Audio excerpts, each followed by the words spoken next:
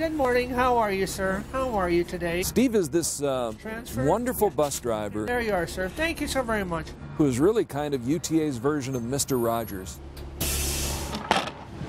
I've been driving for over 30 wonderful years. He's just, he's such a great guy. He's so friendly. He's, he always uh, greets his regulars, as he calls them. It's a little bit quiet today. I really took this job out of desperation.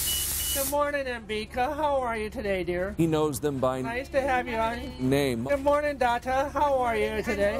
Genuinely, honestly loves people, loves and cares about his passengers. Kind of an overcast morning, isn't it? Don't see Peggy there today. You want me to let you off at the stop or at the corner? Oh, that's Marie. And he makes sure that he calls them by their name. Good morning, Marie.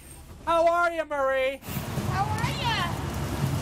How are ya? Marie's one of my regulars. I've known Marie for over 30 years. This is really, Thank you, sir. You have a very good day. he looks at them as family. Good to see you, Marie. Have a wonderful day, dear. Where are you going to today, Marie? Just over to the grocery store. This is this is really what his passion is. It really is. is he found his passion driving a bus for UTA. Good morning. How are you, sir? Have a wonderful day.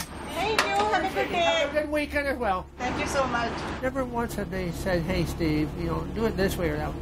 They just have allowed me to be me. How are you doing today? Number 21. You have a very good day. So good to see you again.